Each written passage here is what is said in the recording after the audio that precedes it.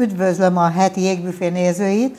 A Városi Rókák szerzője Gyurica Katka jött el, Katarina Gyurica, aki egyébként arról híres, hogy a szomszédom volt, mint egy pár évig, de nem arról híres természetesen, hanem arról, hogy, hogy egy harcos, feminista, író, újságíró, és eredetileg felvidéki, ha csak ki nem javítasz, az felvidéknek számít, ahol te Somorján laktál? Jó. Mert egyszer, mert egyszer nekem a Galán Angéla nevű, egyébként neked is jó barátnőd, tartott arról előadást, hogy ne kezeljük ezt innen Budapestről, hogy mindenki felvidéki, aki szlovákiai, mert nem mindenki az. Úgyhogy igen, van ez az elmélet, ugye a régi nagy Magyarországban felvidék ott kezdődött, ahol a hegyek. Ah. És ugye mi laposon lakunk, abszolút alföld, és a hegy valahogy így Nyitránál indult. Úgyhogy Párkány és az a vidék, az még nem felvidék. De most meg pont ez a lapos a magyar lakta Na most tanultam legalább valamit, de az alapokat már akkor is megjegyeztem, csak nem volt meg hozzá a háttér. Azért jöttünk össze, hogy a Városi Rókák című legújabb regényedről beszéljünk, és ez a regény az összefüggésben van az életeddel, mert hogy úgy szűnt meg a mi szomszédságunk, csak hogy beavassam a nézőket ebbe a privát történelmünkbe, hogy a férjedet Feledi Botondot, aki külpolitikai elemzőként ismert Magyarországon, külföldi, brüsszeli munkával kínálták meg, és te vele mentél. És ennek az, ebben a könyvben egy kis szerepe van annak a specialitásnak, hogy áttetted a székhelyedet, meg a családod áttette a székhelyét Brüsszelbe, igaz? Abszolút. Hát kimentünk Brüsszelben, Botondal, a férjemmel és a három gyerekkel, és akkor ott voltam, hogy fel kell találnom magam, hogy valamit csinálni kell, vagy helyz, ezzel a helyzettel valamit kezdeni kell.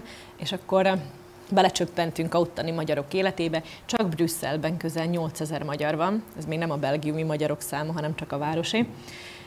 És, és hát akkor ezt a kis szubkultúrát kezdtem el így feltérképezni. Miközben te Magyarországon egy világpolgárnak számítottál, az én szememben legalábbis, hát hiszen teljesen otthonosan mozogtál Európába, voltál tolmács, talán még mielőtt férhez mentél volna, vagy idegenvezető, idegenvezető. A könyveid sora addigra is, mire elmentetek Brüsszelbe, már három könyv volt mögötted, és, és a Rendes lányok csendben sírnak című könyvedből csinálta a Víg Színház.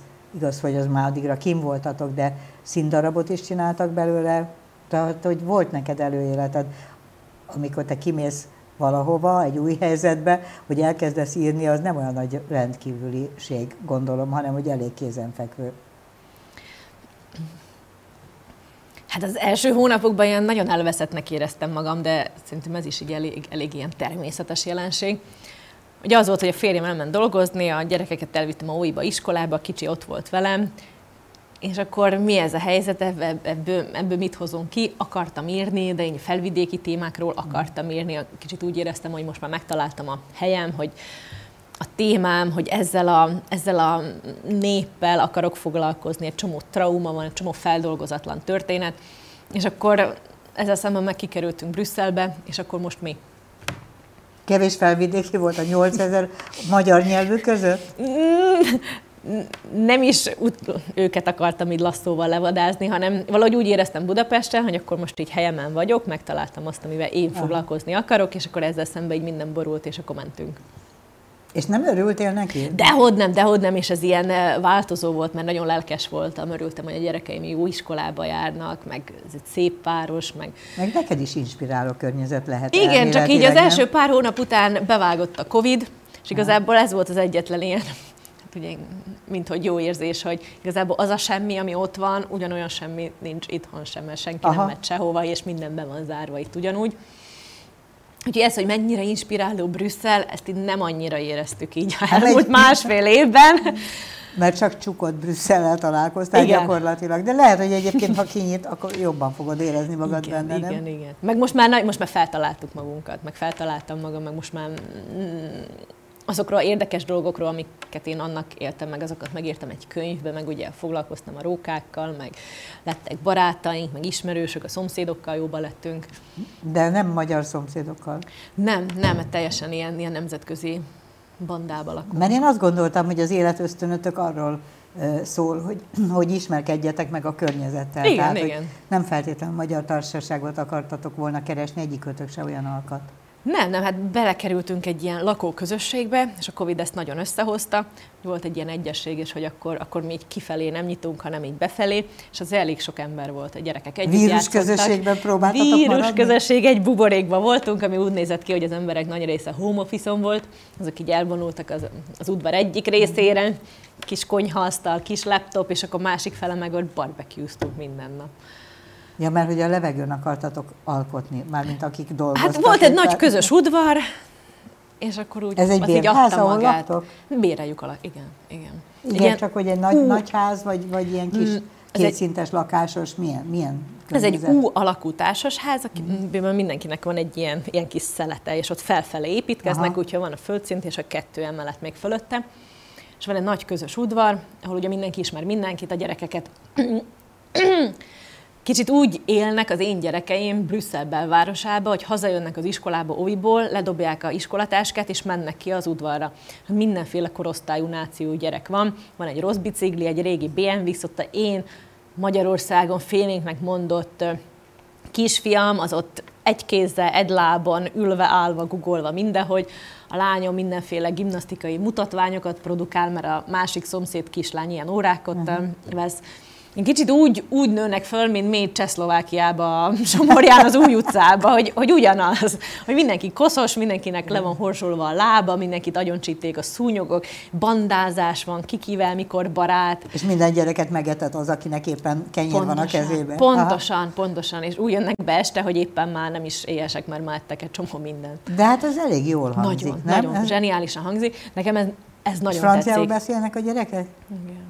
És te is jól megtanultál franciául? Nem, nem, hát én gyerekeim úgy mentek be iskolába, hogy azt tudták, hogy bonjour szeptemberben, és karácsonykor tudtak franciául. Igen, hát a gyerekeknek ez azért könnyen megy. Ó, hát és akkor én vagyok a, a gázbevándorló anyuka, aki miatt a gyerekei most már mint ott szégyenkeznek, tudod, hogy így, anya, az nem un baguette, hanem un baguette. Aha. Szóval megtanítanak Igen, téged igen, franciául a gyerekek, mert nem bírják, hogyha nem pontosan beszélsz. Igen. Na jó, beszéljünk a könyvről, azért jöttünk. Ez a Városi Rókák, ez egy nagyon jó pofa történet a tekintetben, hogy szintén Brüsszelben játszódik, de azért nem tudod kihagyni belőle a szlovákiai szálat sem, mert ugye ebbe is van egy nagyon, nagy, a a kemény szál az tulajdonképpen a szlovákiai eredetű szál, mert hogy egy, egy szlovákiai lányt ö, kap el a, az ott ö, nőket gyűjtő maffia, és viszi ki kurvának, már bocsánat a kifejezésért, tehát prostituáltakat gyűjt ki Brüsszelbe. Ez valódi történet abban az értelemben, hogy akár, akár lehetne is, tehát hogy találkoztál magyar, magyarul beszélő vagy kelet-európai lányokkal Brüsszelbe, prostituáltakkal? Igen, ez, ez egy igaz történet, és egy a sokból. Még csak azt se tudom mondani, hogy, hogy ez egy ilyen különleges eset, mert lányok tucatjaival történik ugyanez, vagy szinte ugyanez. Mm, Kim voltunk Brüsszelbe, és az első pár hónap után kimentem a Gare du Midihez. Az, az egy pályaudvar a belvárosba, és amellett van egy ilyen prosti negyed. Olyan, mint itt a nyugatinál, vagy a keletinél lenne? Azért sokkal, kb., de sokkal egyértelműbb, hogy van egy kabinos rész, ott mondjuk csak fehér lányok vannak, és egy utcával arrébb van a fekete rész, a fekete lányokkal, mm. ahol nem ilyen kabinosan, hanem így felcsöngetsz, ott élnek a lányok a gyerekeikkel, a szüleikkel, a családjukkal, és akkor így, így lehet, így mennek ezek a dolgok. És én ott ismerkedtem meg ezen az utcán a jópásztor nővérekkel, ezek apácák, akik ezeket a lányokat segítik. És ezek ilyen, nekem ilyen, ilyen döbbenetes élmény volt, hogy ilyen alacsony, bajszos apáca, minden sztereotípiával így a külsejét illetően, és akkor ő az, aki bemegy a bizottság alkalmazottaival, lobbista szervezetekkel tárgyal, asztalra csap, brosúrákat, visszszórja, maffiózókkal egyezkedik, hogy így felkapja a kabátját az éjszaka közepén, és akkor akkor leszól az egyik futtatónak, meg a másiknak, és akkor feljelentéseket tesz a rendőrségen, és senkitől nem riad vissza. Na és ezek a jópásztor növények, nővérek kötöttek össze aztán olyan lányokkal is, akik már kiszabadultak, akik ki tudtak lépni.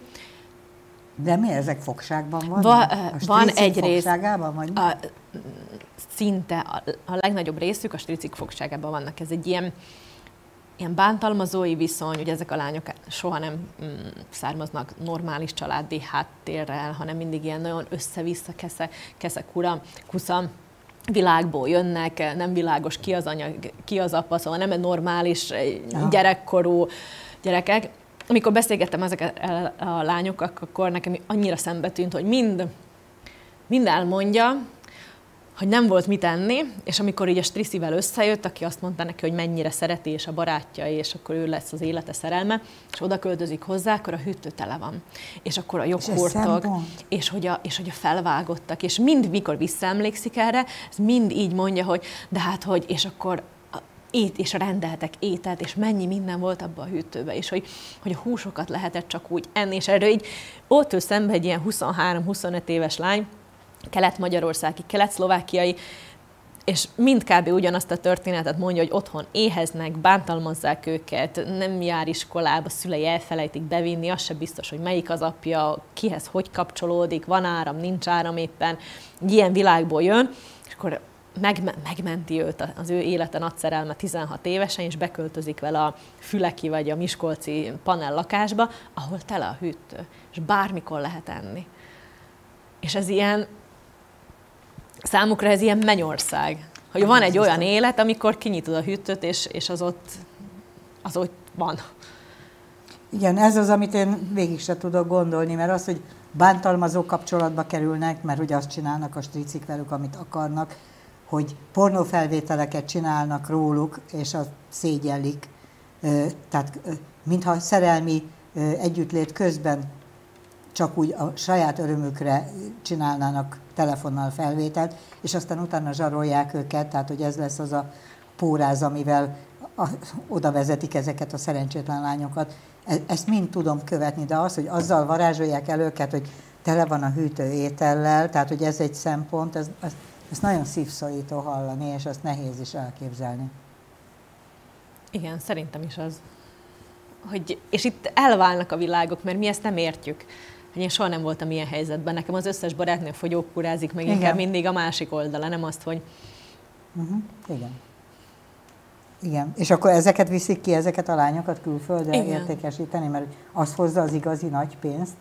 Hát kellenek a lányok, kell az utánpótlás, kellenek a fiatal lányok, kellenek a fehér lányok, és ezek a lányok egyébként ki akarnának ebből szakadni? Tehát, hogyha saját választásuk lenne, mert persze én is azzal az illúzióval élek, hogy, hogy ezek a lányok úgy döntenek, hogy gyorsan pénzt keresnek, és vesznek maguknak majd egy házat. De nincs, ez egy illúzió. Ez, ugye mi azt hiszük, hogy, hogy ők, ugye van a többségi társadalom fejében egy ilyen illúzió, hogy a prostituált az, aki azt mondja, hogy oké, okay, most 20 éves vagyok, most csodálatos a testem, két-három évig ezt kibírom, összeszorítom a fogaimat, sok pénzt keresek, és abból majd veszek magamnak egy lakást, és majd talpra állok. Pont ezt gondolnám. De ez nem így működik. Egy az, hogy nem tud a pénzzel bánni egyáltalán, másik az, hogy hogy annak a pénznek csak egy nagyon-nagyon pici töredékét kapja ő. Én találkoztam olyan lányokkal, akik ilyen napi 30 kuncsaftot kiszolgáltak, és akkor a végén kaptak 30 eurót.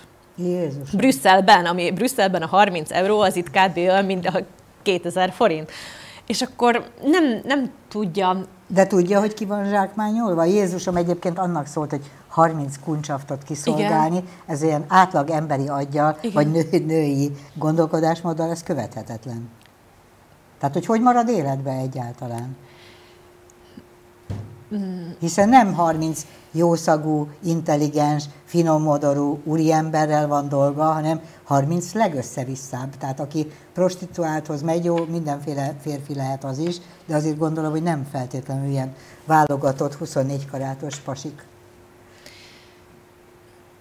Amit én tapasztaltam, amiről nekem beszámoltak ezek a lányok, az általában az volt, hogy ők teljesen kikapcsolnak, miközben ott fekszik, és a testét mindenféle megalázó dologra használják, a közben ő teljesen máshol van. Ő azon gondolkodik, hogy reggel látta, hogy a kisboltba akciós elperes jogurt, akkor azt majd délután megvásárolja, hogy majd ki kell mosni az ágyneműt, hogy ez lesz majd, az lesz majd, hogy így, és aztán befejezik, akkor fizet a kuncsat, nem is neki, hanem ugye másnak, hogy, hogy ő nincs ott. Aha hogy egy, egy ilyen álomvilágot kialakít magának, és akkor a napok nagy túlnyomó többségében, miközben ilyen brutális dolgokat végeznek vele, akkor ő így, így kikapcsol.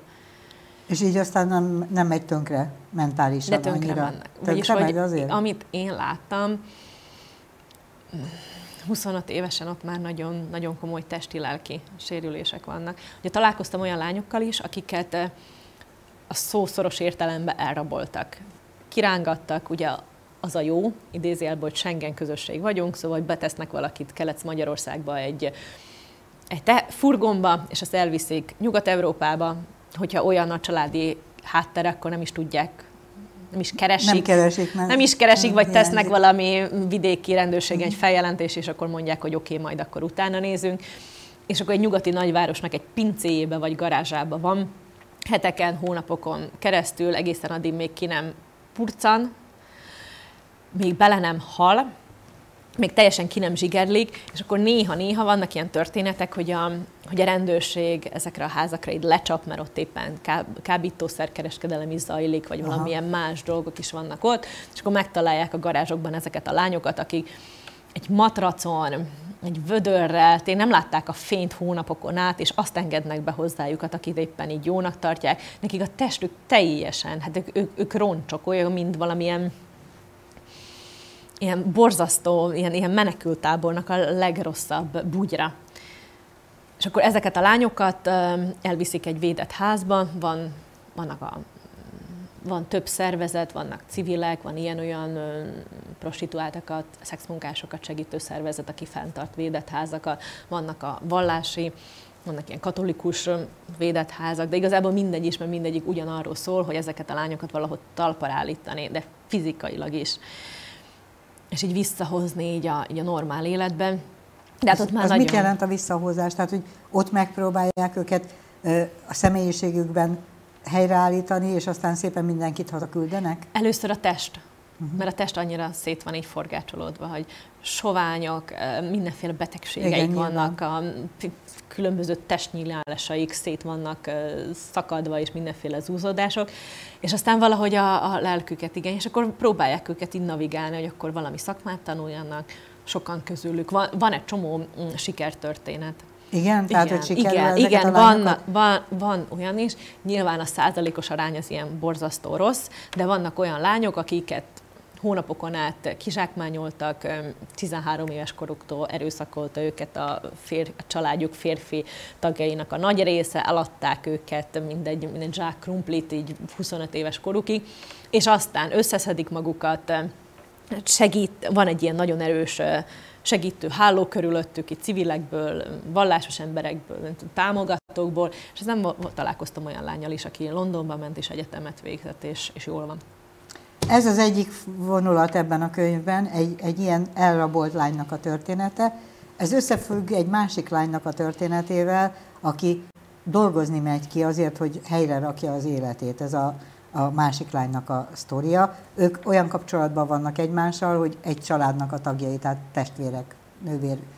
A nővér az azért megy ki, hogy pénzt keressen normális módon, tehát elszegődik, egy kint élő magyar házaspárnak segíteni, háztartási alkalmazottnak. Ez a világ, ez egy szintén létező világ, tehát hogy mennek a, a brüsszeli adminisztrációnak a, az ilyen felső középosztálybeli női megengedhetik maguknak, hogy tartsanak valakit és hozzanak az anyaországból val- valakit, aki segíti őket, aki főz, aki a gyerekekre vigyáz azért, hogy el tudjanak szakadni, de csak a falak, négy fal között éljék az egyébként luxus kalickába az életüket?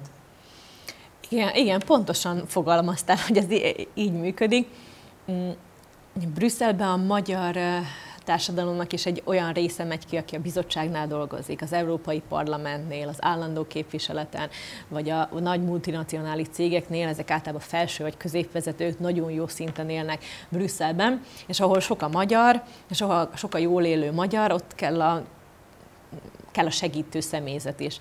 És hát Brüsszelben van magyar autószerelő, magyar manikűrös, magyar fodrász, magyar masszőr, magyar pszichológus, És magyar szépen lassan innen, innen szervezték? Igen, Bármint, igen. hogy onnan szervezték meg, hogy Magyarországról menjenek? Igen, meg hát valahogy így adta magát, hogy egy csomó, csomóan ebből a, pont a másik világból, a, a kiszolgáló személyzetből is kimenjenek, és nagyon gyakori az, hogy a magyar családokat magyar háztartási segítő. segíti. Igen.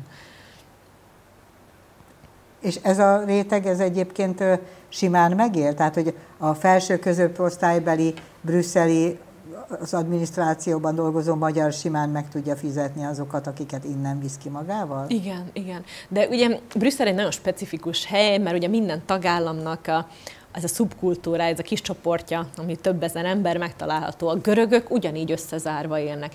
Szóval lehet úgy élni Brüsszelben, görögül, vagy olaszul, hát ugye olaszokból meg sokkal több is van, de magyarul is, hogy vannak olyan ismerőseink, akik mondjuk tizenvalahány éve élnek Brüsszelben, és csak magyarul tudnak. Hát ez fantasztikus. Meg tudják oldani igen, az életüket, igen, hogy igen, megtanuljuk. Igen, igen.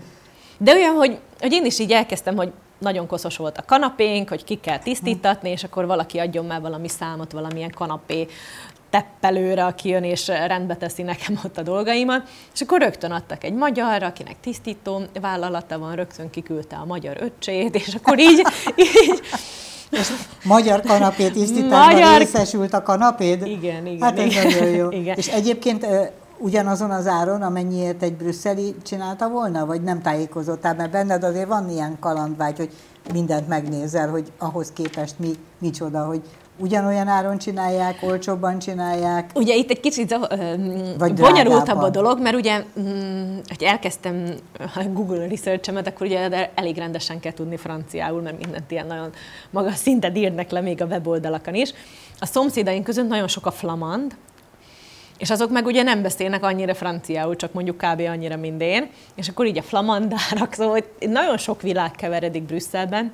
Rögtön ez a vallon francia, ami megoszta az egészet, és akkor még a sok tagországnak. De ez még a saját belföldi megosztottságuk, nem? Tehát a, ja, ez a, ja, az ez a bentlakok ah, megosztottsága. Ú, de az, az, az nagyon erős, Igen? az nagyon komoly, az, az ilyen Könnyebb egy idegennek, volt. egy magyarnak könnyebb, mint Igen, hogyha egy Igen. vallon megpróbálna egy ottani francia ősökkel rendelkezővel barátkozni? Nekünk van egy francia vallon, és egy egy, egy flamand házaspár szomszédunk, és hát ők elmesélték, hogy amikor megismerkedtek, és a szülők mennyire ki voltak borulva, és akkor, hogy de még a lány apja... Romeo és Júlia történetet hát, kb. Hát a lány apja még, még azt mondta, hogy inkább lett volna egy marokkói bevándorló, de hát egy francia, egy francia, hát ő családjában, és akkor apja ki volt készülve, és sorolta neki a történelmi sérelmeket, hogy már pedig, már pedig ők itt minket mennyire elnyomnak, és te egy ilyen férfival. Úgyhogy ez nagyon erős. És a szerelem legyőzött mindent ezek szerint? Legyőzött, legyőzött. De mi igen. lesz később? Amikor majd már ezek középkorúak lesznek, akkor nem lehet, hogy majd szét marja a házasságot, ez az ellentét? Ezt csak azért mondom, hogy mennyire alaposak, hogyha ilyen nagyon, nagyon ősi gyűlöletek csapnak egymásra, hogy akkor az vajon a szerelemmel áthidalható, de mi lesz akkor, amikor a szerelem, mint motivum egy kicsit kopottabb? Szerintem mind a kettőre van, vannak nagyon erős példák. Vannak azok, akik ezt áthidalták, és mhm. boldogan élnek, és boldogan halnak meg, és tökéletes házasság, és Tehát nagyon jó szép gyerekek. A világ. Igen, és aztán van a másik, meg az, hogy gyűlölik egymás bíróságról bíróságra, hurcolik a, hurcolják a gyerekeiket, nyilatkoznak, teleszemetelik. Igen, igen, igen, igen, és akkor a gyereken, meg a közös dolgokon így lecsapódik minden. Van mindenféle. De hát ez amúgy nem annyira távoli tőlem, hogy ez a szlovák, én egy olyan városban nőttem föl, ahol nagyon kicsi volt a szlovákok aránya, de hogy egy egyetemre, ahova jártam, ott már szinte, szinte mindenki szlovák volt. Ugye ez a szlovák-magyar világ kicsit olyan, mint ez a flamand vallon. Igen? igen Akkor igen. rutinosan kezelted igen, igen. ezt az egészet. Ú, tudom, amikor elkezdik mondani, de hát tudod, a vallonok azért, azt tudod, És mind a kettő neked mondja. Igen, igen. Akivel csak elkezdett igen. barátkozni. Igen, és Azért az izgalmas lehet. Azok csak úgy idejöttek, és tudjuk, hogy ők milyenek, és hogy igazából egy vallon se túl intelligens, mert az iskolájuk is olyan. Meg nem is mosakszanak. Ilyeneket nem, nem szoktak, mondani, meg de? látszik rajtuk, egy idő után látod rajtuk, az... Borzasztó. igen, igen. És akkor el szoktad mesélni, hogy mi van Szlovákiában? Hogy mi van a magyarokkal, mi van a szlovákokkal? Tőlük ez olyan messzi világ.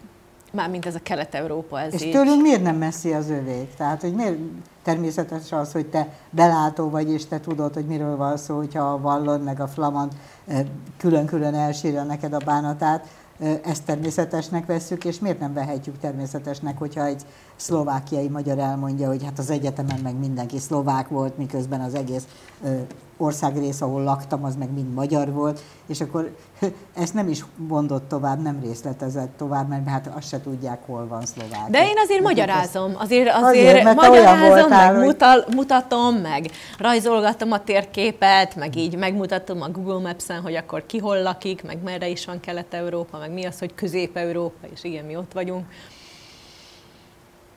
Be így beleállok. Csak közben meg azt gondoltam, hogy, hogy visszatérve a könyvedre, hogy, hogy Brüsszelben élni mégiscsak Európában élést jelent, ahhoz képest, hogy mihez vagyunk mi itt szokva. Tehát Nagyon... nekem az az illúzióm, én aki Brüsszelben három napot töltöttem életemben, azt hiszem összesen, úgyhogy egyáltalán nem tudom, hogy milyen ott azon kívül, hogy szép és jó a sült krumpli. Nagyon rétegzett, ugye nagyon sok valóság van, és nagyon sok kerület, és nagyon sok világ,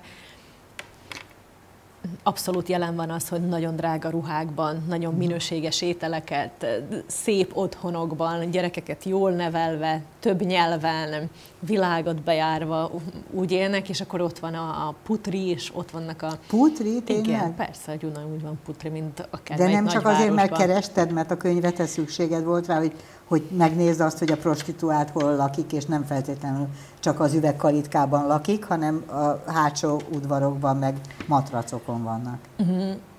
Értem a kérdést, értem a kérdést.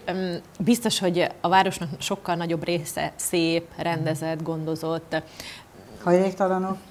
Vannak hajléktalanok, és biztos, hogy nem ekkora számban, mint Budapesten. Ja, az van Brüsszelben, meg Belgiumban, hogy az, aki szegény, és aki belga, vagy pedig európai uniós tagállamból van, vagy a residence card rendelkezik, annak, annak így nagyon erősen próbál a rendszer segíteni. A gyerekeikért megállnak kis busszal, elviszik, a anyukákat felkarolják, ingyen ez, ingyen az, mindenféle segélyek vannak, felzárkóztatási programok, a szüleik, szülőket ingyen átképzik, munkát keresnek nekik, vagy megpróbálnak, megpróbálják őket ilyen polgári értékrendszerint valahová hát így elhelyezni. gondoskodó társadalom? Nagyon-nagyon intenzíven felkarolják a gyerekeket, külön órákra ingyen járhatnak, olyan helyekre bejuthatnak, és így gondoskodnak róluk, így mindenféle mentorokat kapnak a gyerekek is, hogyha, hogyha rosszabb családi státusszal rendelkeznek.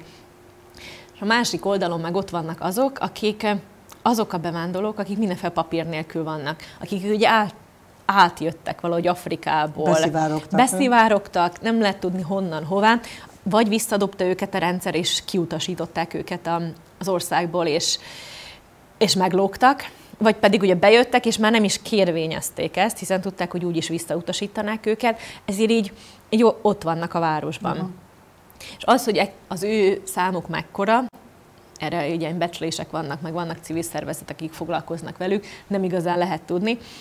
És ők próbálnak úgy élni, hogy semmiféle atrocitásuk ne legyen, ilyen láthatatlanul, ilyen nem járnak tömegközlekedéssel, mert akkor, hogyha jön az ellenőr, elkéri a jegyet, akkor megkérdezi, hogy miért van ott, és nincs papírja, akkor rögtön kitoloncolják. Tényleg ilyen... De ilyen... miből élnek meg?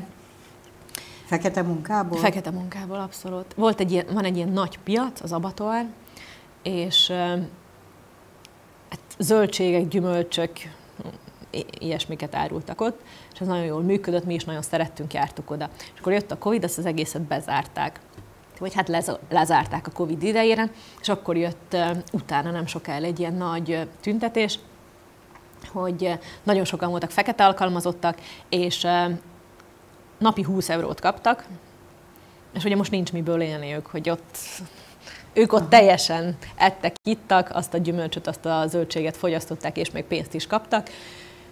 És az volt az életük. És most ez így be van zárva, akkor most így mi, mi nincs lesz? megélhetés, és igen, nincs igen. élelem se.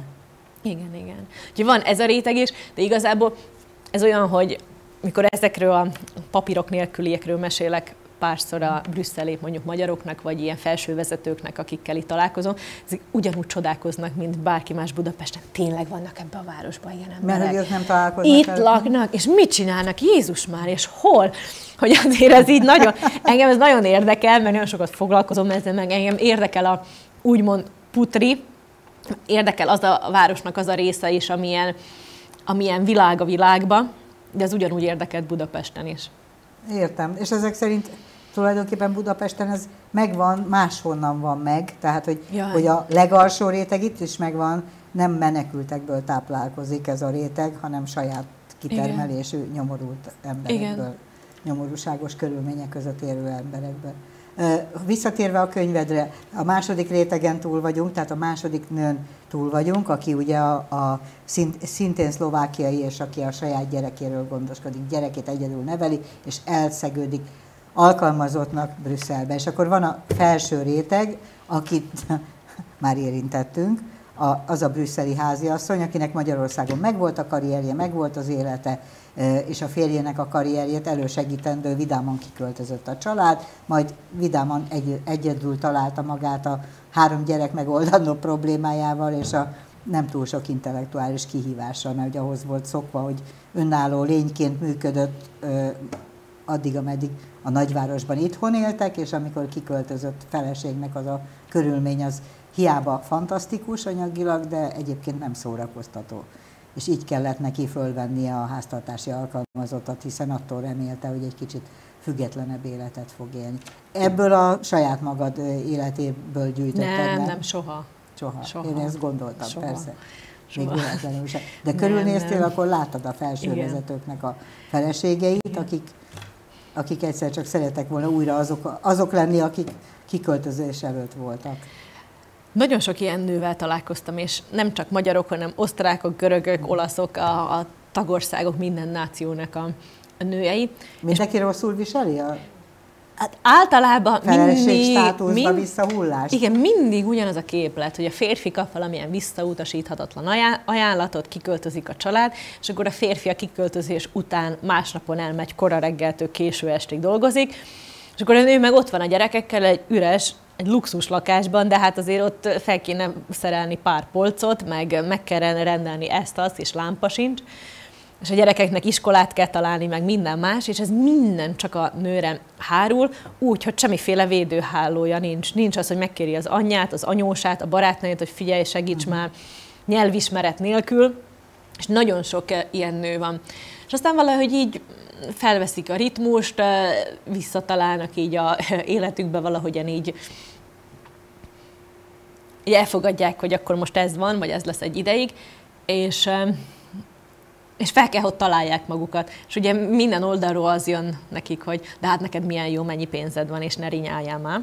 és már miért nem találod föl magad? Miért nem csinálsz valamit? És mi az a valami? Mit csináljon? Mit csináljon egy olyan városba, ahol amúgy francia és holland tudás kell, pont. Ez az alap. Ha az nincs, akkor onnan is de azt hittem mindenki angolul beszél. Dehogy beszél angol. Van egy réteg, ez ugyanolyan, mint Budapesten, hogy a belvárosban, meg van az intellektuális réteg, aki igen beszél angolul. De amúgy nem beszélnek a magyarok. Budapesten sem lehet angolul beszélni. Ugyanúgy Brüsszelben sem lehet angolul beszélni. Uh-huh. Amúgy, amin az EU buborékon kívül vagy, nem. És nem akkor lehet. beiratkozik a, a, a szerencsés nyertes, aki kikerült feleségnek jó körül, luxus körülmények közé, akkor először megpróbálja megtanulni a két nyelv közül a franciát, gondolom. Igen, pontosan így történik, és aztán lakberendező kurzusokon vesz részt, Mert már mindenféle. Tud, beszélni már tud, és akkor el kéne Meg van angol, igen, igen, igen, vagy angol, angolul jár mindenféle ilyen más, más kurzusokra. De ugye az van, nagyon sokszor találkoztam olyannal, hogy pár év után ez a az a dinamika, hogy két egyenrangú ember összeházasodik hasonló érdeklődési körre. A férfinak elindul felfelé a karrierje, miközben anyukának gyerekei lesznek, és ő az, aki, aki elsődlegesen ellátja a családot. Kiköltöznek külföldre, és a nőnek ez már tíz év után nem tetszik, mert egyáltalán nem ért egyet, nem így van, nem ilyen életet akar, ha tényleg ketté válik az egész, viszont nem lehet mozdulni, nem lehet elválni. Mert hogy válik el egy, egy magas státuszú férfitől, Másik az, hogy gyerekeket nem lehet mozdítani, csak úgy lehet minden EU-s tagállamban, hogyha mind a kettő fél aláírja. Hmm. Ez nem úgy van, hogy megfogom a gyerekeket és hazaköltözök velük. Olyan nincs. Ha apuka beleegyezik, akkor haza lehet. De miért egyezne bele? Nem egyezik bele sose, és akkor De, de a nőtől is ugyanilyen nehéz Persze, apukára. persze, igen, igen. De azért az nincs itt... nagy moccanási lehetőség. Igen. Ilyen értelemben csak igen, teljesen közös, igen. kiegyenlített viszonyok Igen, vannak. közös gyerekek, anyuka, apuka 50-50, és mind a kettőnek alá kell írni. De ez ugyanúgy van, nem tudom, Magyarországra, hogyha valaki el akarja vinni valahova máshova a gyereket, persze, mindent persze, alá persze, kell írni. Hát gyereket máshova vinni másik országba, az mindig halálosan bonyolult. Igen. És igen. egyébként a jó érzésű párok csak egymástól akarnak elválni, nem akarja, hogy a másik belerohadjon, hogy a gyereke nélkül van, nem. Tehát, hogy normális emberek azért a gyereküket se akarják megfosztani a másik szülőtől ilyen egyszer mindenkorra. Amit én láttam a vállások előtt álló embereknél, az az már ott a pokol legmélyebb Ja, tehát, hogy ezt rosszul gondolom? Az már, az már szerintem ott már uh-huh. ez a békésen elválni, persze van ilyen, meg magazinokban nagyon sokszor írtunk erről. De azt egy országban élőknél az jobb esélyű. Mint Én nem valaki... tudom, nem tudom, hogy ez mondjuk, ez szerintem az annyi emóció, hogy itt már semmi logikai vagy észszerű ér nincs mögötte. Uh-huh. Ez már olyan, hogy mert mikor 15 éves voltam, akkor is már anyám megmondta, és rá kellett volna hallanom, hogy az már, az már gyűlölet, ami a másik iránt van, hogy ez az valami undorító, amennyire lekezeli, csúnyákat gondol róla a másik, uh-huh. azzal emberrel, aki, akihez mondjuk ilyen nagy szerelemmel hozzáment, és azt mondta, hogy holtomidram. Hát én ezt naívan képzeltem el, mert azt hittem, hogy a gyerekek érdekében mindenki megpróbálja a legjobb oldalát de így, te a baráti amikor... társaságodban lát, Igen, látsz itt, itt, de ezek belföldi vállások voltak. Érted? Tehát, hogy nem volt olyan, hogy a, Szerintem az egy speciális helyzet, hogyha te kin élsz valahol, és ott az egyik eleve alárendelt szerepben van attól, hogy nem tud dolgozni, mert, mert hogy nem olyan általában a körülmény, hogy kimegy egy házaspár, az egyik rendszerint a férfi megkapja az állást, a nő az követi, és nem tud ott egy olyan állást szerezni, vagy tud, van, van arra gyakori példa, hogy a nők is el tudnak helyezkedni? Hát Nagyon ritkán. Van, igen, igen. Soka, persze vannak, mindig tudunk ilyen fehér hollókat mutatni, de azért százalékosan az nem egy kiegyenlített viszony. Igen, és akkor ebből a nem kiegyenlített viszonyból következik az, hogy, hogy az egyik félnek van kiszolgáltatva a család egzisztenciális része, a másiknak legfeljebb érzelmileg lehet kiszolgáltatva az, aki pénzt Igen. keres, hogy és akkor ez most hazaviszi a gyerekeket tényleg, és hogy milyen rossz lesz nekem. Gondolhatja egy férj, aki írtozatos mennyiségű pénzt keres. Tehát, hogy, hogy a belföldi vállások Budapest szerte, vagy Magyarország szerte, azok annyival több esélyt nyújtanak a normális vállásra, gondolom én, hogy nincs benne ez a plusz függelmi viszony. Igen, ezt itt szépen megfogalmaztatod, hogy több esélyt nyújtanak. Igen. De hát egyébként igen. mindenféle van itt is. Persze. Igen, igen, igen. És egyébként a brüsszelieknél legalább van mit elosztani. Mert a belföldieknél, itt a magyar vállásoknál az egy külön tényező, és egyébként mindenkit hogy áll talpra majd, hogyha szét azt a kicsit, amit összeraktak, azt szét akarják szedni. Igen. De ez egyébként most nagyon elkalandoztunk, mert a regényben nincsen vállás. Nincs, ez egy boldog egy házasság. boldog Igen. házasság van Igen. benne. Egyébként azt látod, hogy akik kikerülnek hosszú távra, több esély van arra, hogy elromoljon a házasság, attól, hogy ez az alárendeltség van? Nem. Mert a jólét azt meg kompenzálja, nem? Tehát, hogy valamit, valamit az, hogy nem kell a pénzen vitatkozni, az csak enyhít a feszültségeken, a lehetséges feszültségeken. Igen, a pénzen nem kell vitatkozni, de akkor meg amit én látok így a mi baráti körünkön, hogy ez a jó lét, ez kicsit ilyen, ilyen unalomba űzi embereket, hogy igazából mindenem megvan. Van egy szép házam, autóm is, gyerekek jó iskolába járnak, bármit megvehetnék, de nem akarok. Most vehetnék egy még egy ezer euróval drágább táskát, de hogy arra már nincs szükségem. És akkor, hogy ebből az unalomból, vagy ebből a kilá... Hogy, nehéz, nehéz ilyen pontos szót találni erre, hogy nem éreznek kihívásokat. Tudják, uh-huh. hogy a munkahelyük olyan, hogy a bizottságnál, a parlamentnél dolgozók, az bármeddig nyugdíjas korukig ott tudnak lenni nagyon magas fizetésért, abból ugye nem érdemes kilépni, viszont az nem nagy kihívás, akkor mi. És engem egy csomó megkerestek Brüsszelben azzal, hogy hát ők ö, olvasták, hogy a könyveimet, és hogy Brüsszelben élő magyar író vagyok, és hogy ők is írnak és akkor, uh. hogy milyen kreatívak ugye ezekben a mint hogy kívülről, meg ők saját maguk által unalmasnak titulált pozíciókban az emberek, és akkor mindenkinek van valami kis hobbija, vagy nagyobb hobbija, és akkor valahogy ott, vagy hát prostituálthoz járnak, vagy vagy Kinek mi a hobbija? kinek mi a hobbija, pontosan. Kreatív írás, vagy prostituálthoz járás? Igen, vagy kiskert, vagy, vagy civil szervezeteket segítnek. bombongyártó tanfolyam, nem? Ó, az, biztos nagyon gyakori. Az... A belga pralini az nagyon, nagyon komoly Igen, és akkor meg a gyémánt, az akarjuk. antwerpeni Hát mondjuk az gyémánt. nem lehet rossz, igen. Gyémánt gyűjtő tanfolyam. Az például milyen jó. De hogy eh, lehet gyémánt marketinget tanulni, OKS képzés, három éves, öt éves, egy éves, fél éves, angol-francia, világ minden nyelvén. És te választottál magadnak hobbi tanfolyamot? Tehát tanultál valami érdekeset, vagy a három gyerek egyre kitölti meg az írás az életedet? Igen, nekem van három gyerekem, igen, pont. Nem szokott lenni három gyerekük, az ott lévőknek kevesebb van. De, de kicsit, nem, a- az ott lévőnek eh, jellemzően sok gyerekük van. Igen? Én azt látom, hogy a nyuga- nyugatiaknak, akik jól élnek, azoknak sok gyerekük van. Három-négy gyerek. A francia nagyon szép, vékony nőknek nagyon sok gyerekük van. Na hát, ez tök jó. Igen, igen. Te, visszatérve a könyvre, ez most neked egy nagy kísérlet, mert magad adtad ki. Nagyon tetszik a kiadónak a neve, hogy Piros Hó. Ez teljesen jó. Hogy majd, majd akkor lesz neked kiadód, hogyha piros hó esik, és ezért dacból lett a piros hó? Igen, igen. Sokáig gondolkodtam rajta, hogy milyen neve legyen, meg sokáig gondolkodtam azon is, hogy kilépjek el a nagy kiadótól, és akkor elinduljak egy ilyen ismeretlen úton. Kell ez nekem, meg tudom-e csinálni. És miért kellett neked ez? Mert szerintem ez a jövő, a függetlenség, meg Aha. ennél jobb érzés nincs, hogy én magam adom ki a könyveket, eladunk, amennyit eladunk, tudom, hogy mennyit adunk el, tudom, hogy kik vásárolják meg. És jobb anyagilag? Persze. Persze. Igen. Amikor kiléptem a nagykiadótól, akkor elém nyomtak egy szerződést, hogy oké, okay, mehetek, de ilyen jó vastag. Jó, sok oldalon az volt, hogy nem beszélhetek soha senkinek arról, hogy ott milyenek a viszonyok, de abszolút. De én nekem jelent már meg kiadónál könyvem, és mondom, hogy 12%-ot szoktak adni, általában És plusz mínusz kettő igen. ide vagy Igen, oda, igen. és ahhoz képest megkapni a 100%-ot, és abból fizetni ki a nyomdát, meg nem tudom miket, amiket még ki kell fizetni, hát nyilván egy jobb lehetőség. Igen, meg Cserébe van- viszont te cipeled el a könyvesboltba, mármint, hogy te szervezed, hogy oda jusson. De nem olyan nagy dolog ez. Nem? Szóval szerintem ezt is kicsit így, így túl lihegik, hogy most elintézni azt, hogy a nyomdából a, elmenjen az egyik forgalmazóhoz pár ezer példány, ez, ez mondjuk egy És a ilyen forgalmazó ugyanúgy befogadja a pirosó kiadót, A forgalmazónak csak az kérdés, hogy mit vesznek az emberek. Őt nem érdekli, hogy milyen kiadó, milyen cím, milyen borító, mi a téma, az egyáltalán nem érdekli. Ha keresik az a vásárlók, Aha. akkor megrendeli, ha nem keresik a vásárlók, nem rendeli meg. És akkor innentől kezdve jöhet a, legna, a világ legnagyobb kiadója, az a legkomolyabban nyomott könyve, hogyha olvasó a vásárló nem keresi, akkor egy hét után eltűnik. Hogy ez teljesen egyszerű képlet. És akkor mit tudsz tenni ezért, hogy keressék?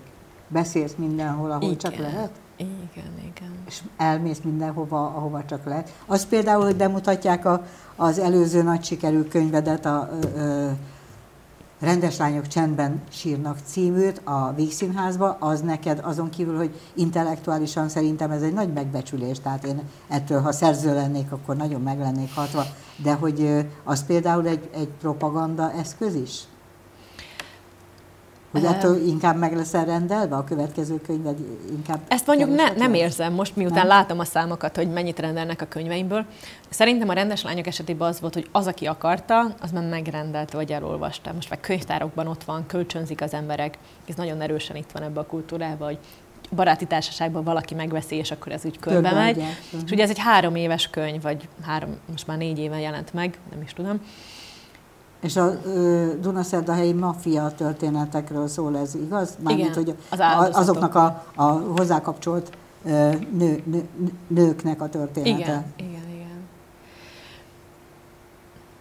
Nem, azt csak azt akartam tudni, hogy, hogy az ha- hat-e egyik könyv a másikra, vagy, vagy- Szerintem az van, hogy ugye ez most már negyedik könyvem, volt, aki elolvasta az egyiket, és aztán így aztán így jött visszafelé velem. is megvette a többieket? Igen, visszafelé, és meg van olyan is, akkor az első könyvtől eljutott idáig, ugye rendes lányok volt ez, amilyen nagy média visszhangot kapott, mm. meg ez a Dunaszerdei maffia, ez így Hát nagyot... ez meg volt Magyarországon. Igen, nekünk. igen, ez így nagyot Figyelj, ütött bementek, maga egy, bementek valami presszóba, és géppisztolyjal kiirtottak ott néhány embert. Ez nekem hírszerkesztőként volt meg, hogy úristen, ez micsoda történet.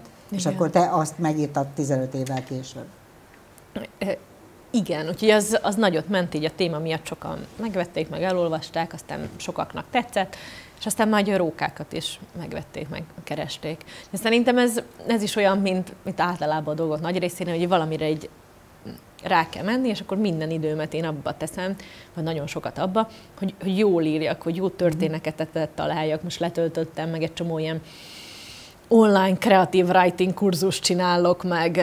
meg Mármint, hogy te veszel rajta részt, vagy te szervezel? Nem, én veszek rajta részt, megnézem, hogy többiek hogy írnak, micsoda módszerek vannak. Azt nem. hittem, hogy te tanítod a kreatív írást. Nem, nem, nem. Ez a órákat adok, veszek.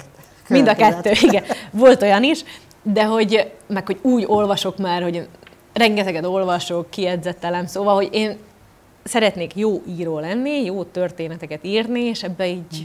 És négy megjelent regény után a legjobb úton vagy afelé, hogy majd az ötödikben már azt magadnak is elhiszed, hogy író vagy? Vagy ezt nem? Én egyébként ezek újságírás alapú könyvek, legalábbis a, ez is, Igen. meg, meg a, a rendes lányok is. Ezeknek valóságos történet az alapjuk, valóságosan éppen a levegőben lévő sztoriknak az összefoglalása. Tehát, hogy, hogy nekem egy kicsit mindig kedvezőbbnek tűnik, a, vagy én jobban szeretem a dokumentum alapú dolgokat. Én is. Hát akkor... De meg, meg ugye azt mondják, hogy, hogy írj egy olyan könyvet, amit mindig meg akartál vásárolni, és mindig el akartál olvasni, de hogy soha nem találtál olyat. És hogy olyan könyveket kell írni. Ó, édes jó Istenem, írd, írd meg, amit mindig el akartál olvasni. Micsoda bullshit ezek. Bullshit? Ön, ja, én szeretem a bullshit én szeretem ezeket a szövegek. egymondatos mottókat, én azt igen, úgy igen, igen, igen, te egy koeljó vagy. Jó, akkor maradjunk annyi, hogy ez egy jó könyv. Ajánlom mindenkinek, aki egyébként szintén a reáliákhoz vonzódik.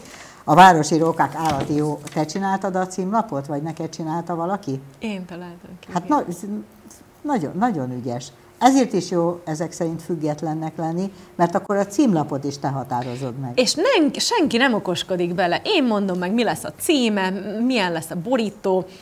És magad szíthatod, hogyha félre Igen, nyúlsz. és uh, még azt hogyha van annyi időnk, akkor ugye a második regényemnek az lett a cím, hogy szlovákul szeretné. Igen. És ez egy ilyen, ilyen afrikai kalandregény, vagy ott indul, ilyen felvidéki családi trauma, meg van benne műtárkereskedelem és műkincsrablás, és egy ilyen fiatal nőnek az élete.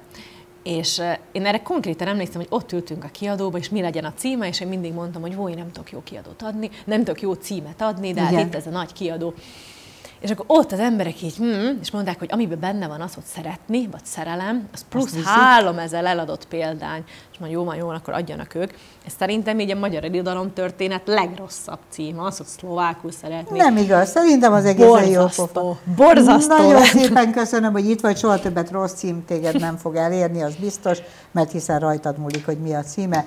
Gyurica Katarint, Katarina Gyuricát hallották, én csak Katinak szoktam hívni, mert Budapesti az ismeretségünk és további könyvekhez további sikereket. Köszönöm szépen! Lesz jégbüfé jövő héten, és nézzenek bennünket akkor is viszont hallásra.